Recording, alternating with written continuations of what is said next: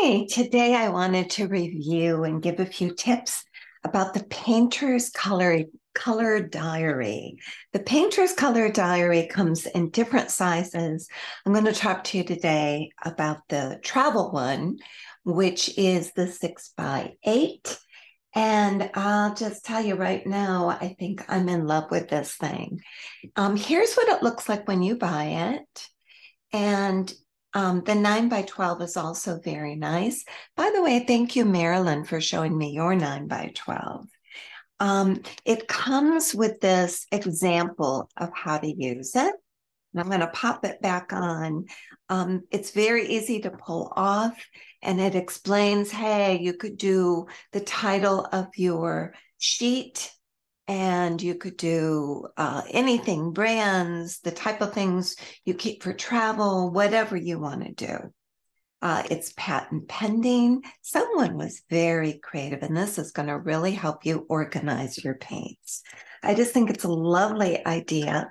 And before i get started do you mind if i remind you to subscribe? And then if you want also hit the bell that lets you know when more uh, new little short uh, tutorials, I guess you'd say, or reviews or whatever are posted. I know that gets to be annoying. Everybody asks you to do it, but I have a fairly new channel and I'm working hard to provide a service. And the only way to really get your channel out there is to have subscriptions. So now I get it. I'm glad I subscribe to everybody to help them. And I hope you'll do the honors for me as well. Now, the price of this Painter's Color Diary, and like I said, it looks like this when you get it, but you're supposed to remove this. I may not, or I may, I haven't decided yet. Just got it.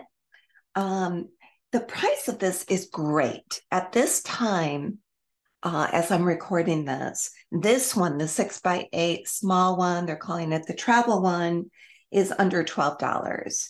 And um, the nine by 12, which is nine by 12 and has bigger little squares, um, also very nice.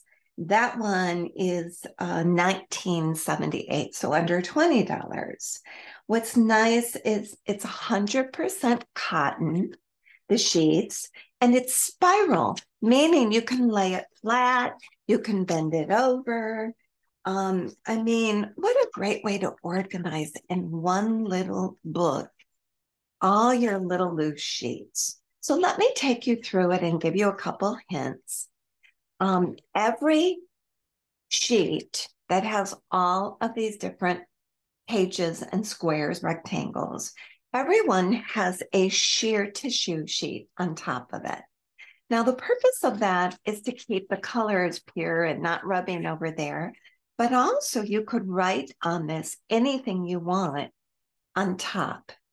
And speaking of writing, I'm going to suggest you use a Micron or other brand style black waterproof pen. And this way you're not going to have anything blurring because it is watercolor after all. I started with one and I decided each sheet is going to be a different brand.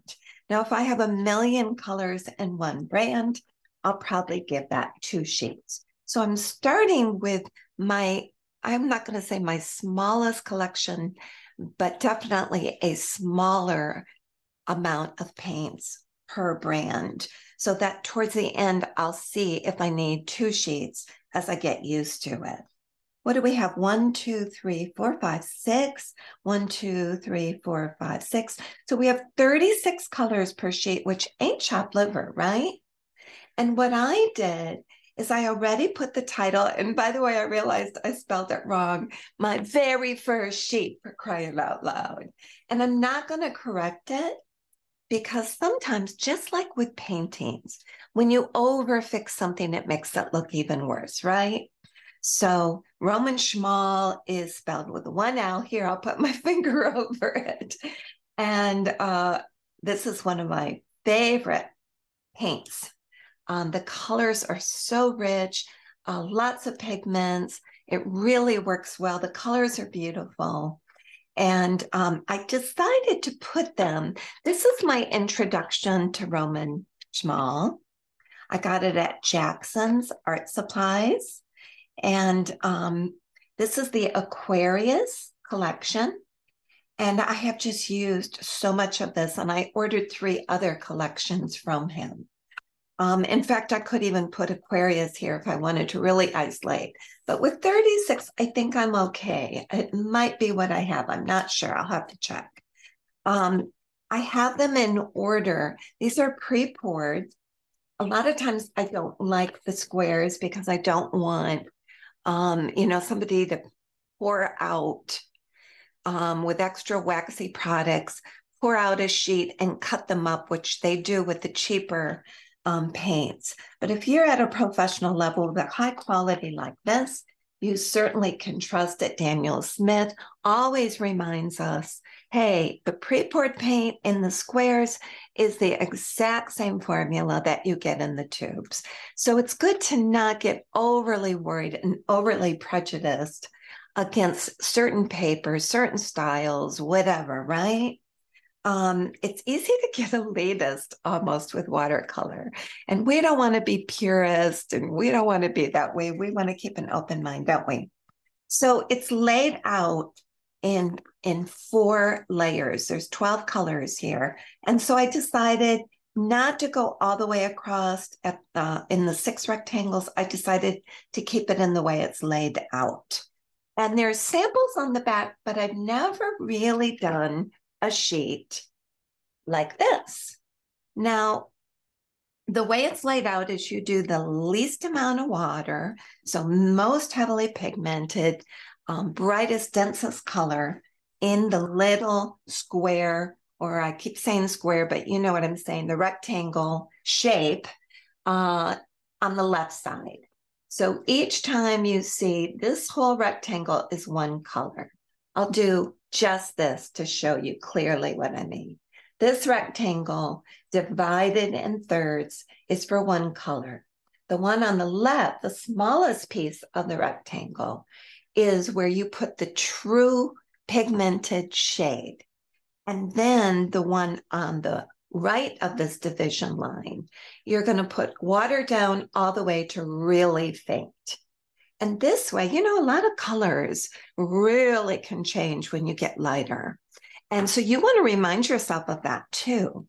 So I already did the lemon yellow one for you. So there, and I'm not a perfectionist. Don't you be either. Let's relax and enjoy the process, right? Um, I did it very pigmented. And by the way, my yellows and some of my other colors will get um, just kind of other colors mixed in, kind of polluted, I was going to say. So I actually cleaned that first. And if you don't know how to clean, you just take a damp brush, go to the top, and tap it off. You know, just pull it off slightly. There it is this morning. And this way you're getting the clean product. So I like a square brush when I'm doing swatches. I'm using today a silver black velvet, quarter inch. This is the 3008S series um, flat brush.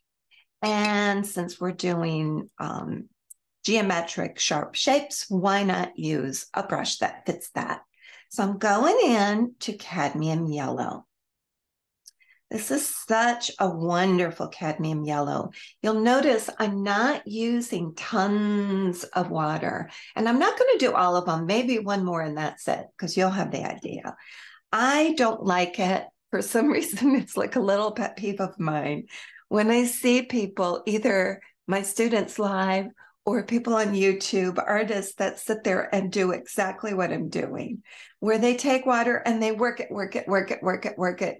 It gives the impression to everyone watching that you have to do that each time you paint.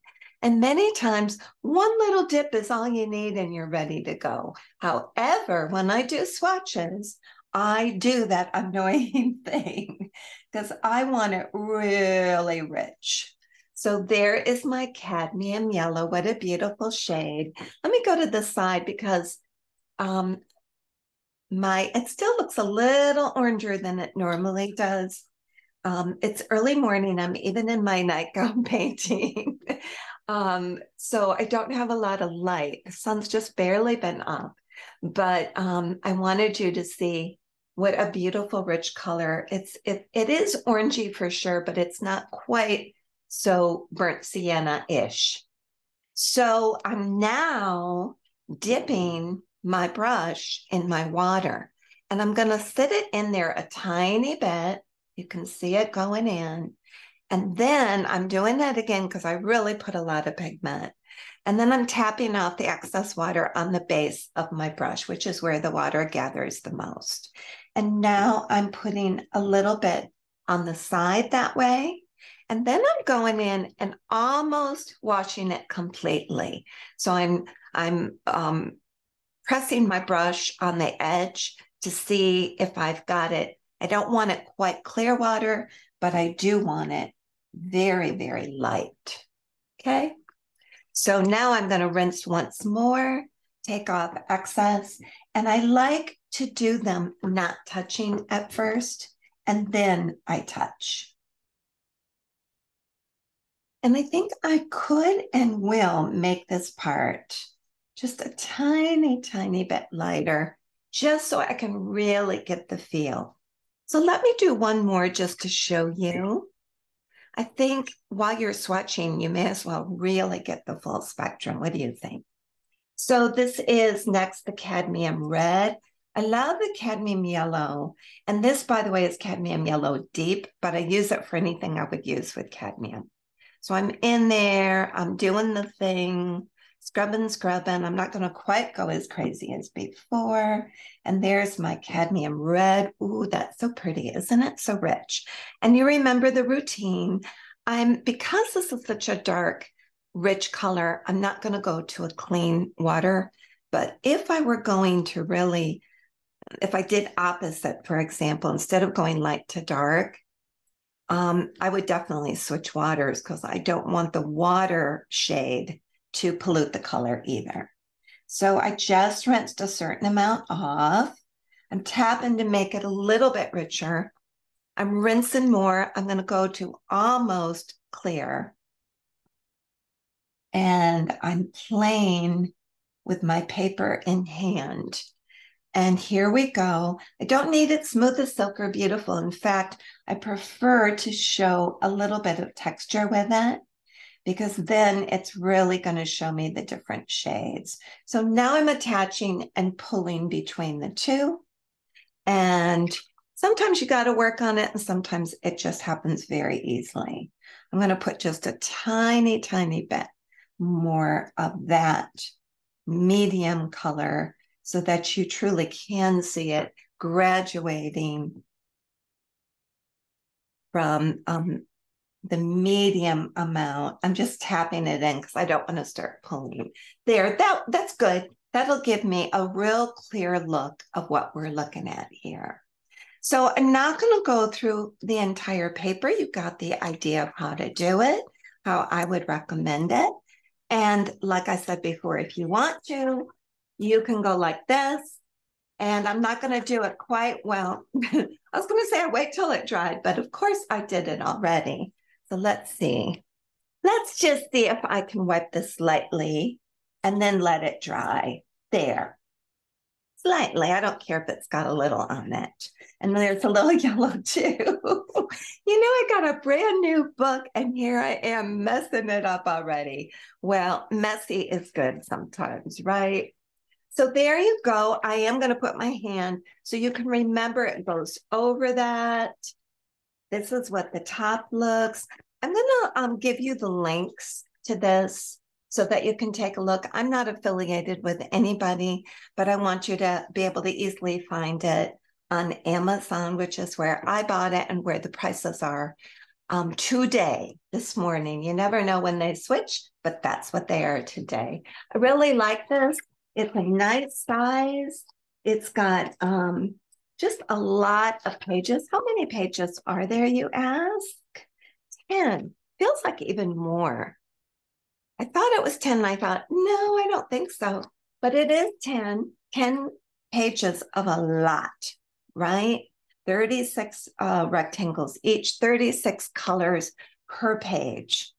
So there you go. I like it. I give it a big two thumbs up and a big smile with us. And I hope it's helpful to you as you familiarize yourself with different brands and different colors that you may own, whether you're a beginner and just starting out and have one page only filled a tiny little bit, um, or if you're somebody like me that is uh, color curious. So I'm always buying and brand curious. I'm always buying and trying. And now I can keep tabs on what's going on. Have a good day. God bless you.